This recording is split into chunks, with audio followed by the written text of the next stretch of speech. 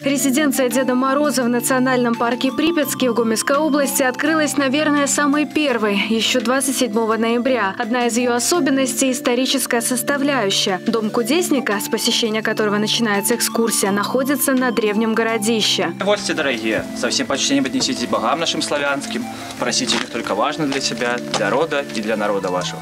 Поднимитесь в мое жилище и поклонитесь. Первые люди в этих местах появились еще 20 веков назад. В пятом веке нашей эры сюда пришли славянские племена. Здесь же находится их капище, где наши предки молились своим богам. Причем посетителям не только расскажут об этом, но и предложат завязать на бывшем капище ленту желаний. Говорят, что все задуманное обязательно сбудется. Вообще, в связи с пандемией коронавируса в этом году количество посетителей ожидаемо снизится. Однако в нацпарке оптимизма не теряют и по-прежнему готовы работать с полной отдачей. Все то же самое.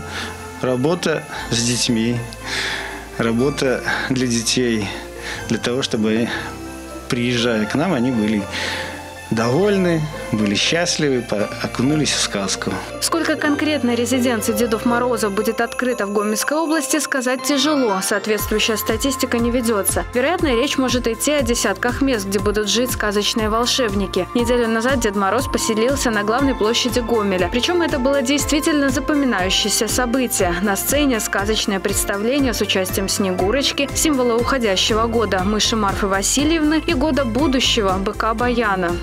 Новый год состоится при любой погоде. Состоится, сбудется, придет. Чтоб сбылись, состоялись и пришли все наши мечты и желания. С наступающим Новым годом! В этом году Гомельский дворцово-парковый ансамбль впервые пригласил мальчишек и девчонок, а также их родителей окунуться в новогодние приключения в сказочном парке с участием Деда Мороза и Снегурочки. Хотя встреча с волшебными героями оказалась не такой простой, как кажется. Чтобы их отыскать, необходимо пройти заколдованный зеленый лабиринт – крошечное царство королевства, где находятся домики сказочных героев. Для того, чтобы достичь цели, пришлось проявить смекалку и храбрость. А заслуженной наградой стала возможность побывать в гостях в зимнем доме Дедушки Дедушки Мороза и Снегурочки на празднике у новогодней елки.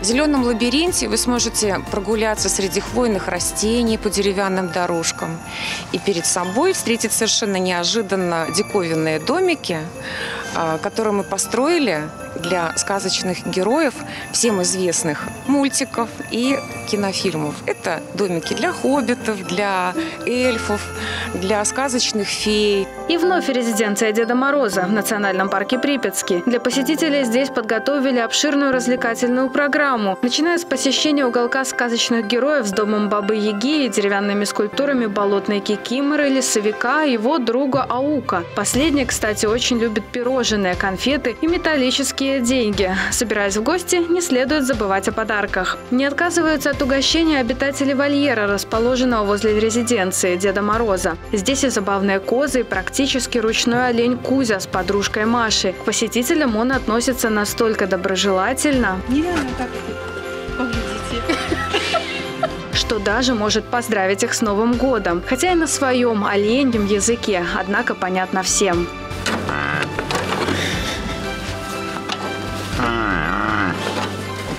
pergunte. Ah, ah,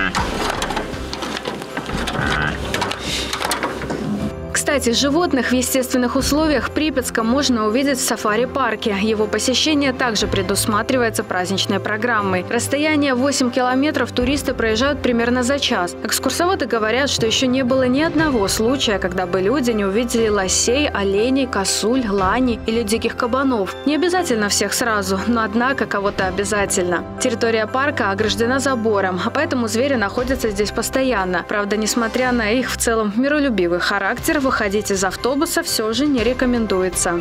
Проезжаем на автобусе, смотрим через окошко и фотографируем. То есть наших туристов э, мы не выпускаем в сафари-парк как бы это все безопасно. Подворье Деда Мороза в Национальном парке Припятске открыли в 2018 году. Это уголок с истинно полесским колоритом, где создается особое настроение, происходят чудеса и есть возможность очутиться в настоящей волшебной сказке. Кстати, дети участников представления очень гордятся своими родителями, которые помогают людям стать добрее и прекраснее. Они встречают меня, пришла наша Снегурочка, провожают, ушла наша Снегурочка, встречают с радостью, что я вернулась. Очень любят то, что мама у них Снегурочка и гордятся. Резиденция Деда Мороза в Национальном парке Припятский будет открыта до 1 февраля. Время, проведенное здесь, пролетает незаметно. Однако незабываемые эмоции и восторг заставляют вновь и вновь вспоминать эту поездку и вызывают желание вернуться сюда снова. Тем более, как твердо обещает символ следующего года – металлический бык, в 2021 эпидемическая ситуация станет намного благоприятнее, а проблемы останутся в прошлом. К сожалению, предыдущий год крысы э, принес э, много несчастий и бед. Мы очень сильно все верим и надеемся, что следующий год быка принесет только счастье, радость и все полностью исправит. Полесский Дед Мороз приглашает вас в гости! Олег Сентюров, Анна Крайчук, Валерий Гапанько. Новости недели.